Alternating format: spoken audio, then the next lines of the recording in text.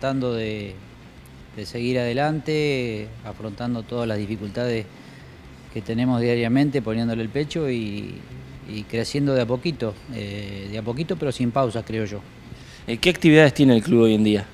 Bueno, como siempre la actividad principal es el fútbol, eh, tanto de inferiores como de primera, juveniles, infantiles, tenemos una escuelita de fútbol infantil y femenino, fútbol femenino también que ha tenido una buena repercusión durante el año pasado, ha participado del torneo que se organizó en el predio de Forestier y con buenos resultados.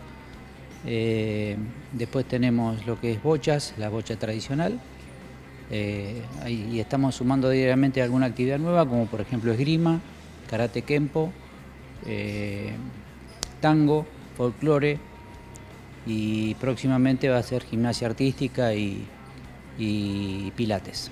¿Chicos de qué edad están asistiendo hoy al Club Penal en las diferentes disciplinas? Y mirá, tenemos desde tres años, cuatro de fútbol infantil, hasta gente de adulta mayores con el tema de tango o, folclore, ¿verdad? O sea que es el, el, abanico es grande y bueno, la idea es que el club esté siempre en movimiento y ocupado, sobre todo con chicos, por supuesto. Eh, ¿Cómo los ha afectado el tema de por ahí los tarifazos energéticos ¿no? de los servicios?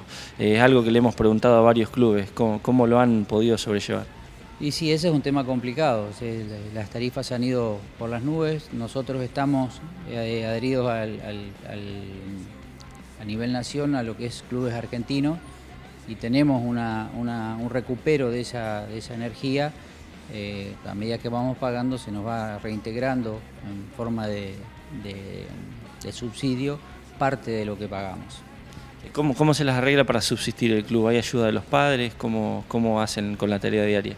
Sí, obviamente, los padres es el apoyo fundamental que tenemos. Igualmente desde la comisión directiva y el grupo de apoyo trabajamos arduamente haciendo cualquier tipo de cosa. El año pasado surgió y tuvo buen auge lo que es el T-Bingo. Eh, hicimos tres, tres T-Bingos con, con muy buenos resultados. Eh, y seguimos con el tema de pollada, rifa, lo que habitualmente hace un club chico como nosotros para poder llevar adelante las actividades diarias. ¿Qué necesidades tiene el club hoy? La más imperiosa, la, fundamental es un terreno, tierras que están prometidas desde hace mucho y que nunca se concretó y es lo fundamental, ya te digo, es todos los años salir a peregrinar y pedir, poner la cara y pedir permiso y pedir autorización para estar en un lado y en el otro, y eso desgasta. Y eh, los chicos siguen teniendo la pertenencia en el club, pero no la tienen totalmente porque van de un lado al otro y saben que ese lugar es prestado. O sea que lo, fundamental es el predio.